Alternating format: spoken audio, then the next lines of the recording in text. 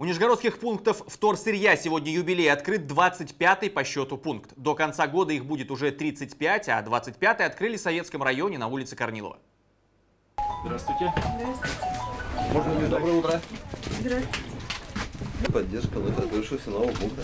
275. У нас символическая сдача макулатуры. Бывают такие случаи, когда при- приносят э, и не просят денег? Бывает. Прям семьями, особенно вот утром, в выходные дни.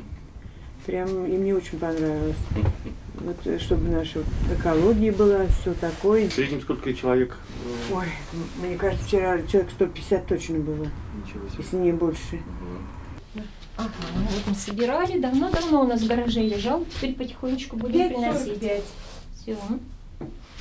Что это будет стоить? 5,45 умножить на 6. 6 рублей? О, как хорошо. Здесь живут в основном пос- эти пенсионеры, и им приходится ходить куда-то аж в сторону бывшего магазина «Заря».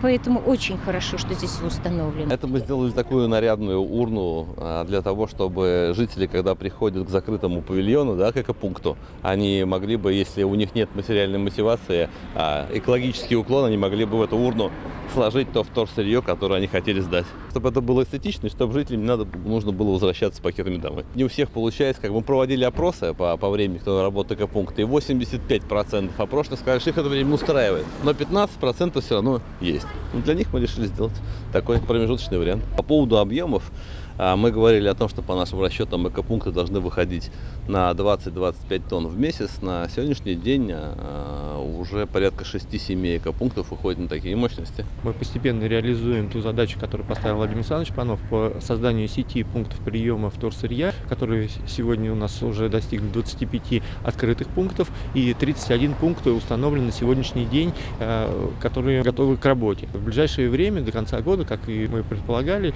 э, 35 пунктов должны быть установлены на территории Нижнего Новгорода.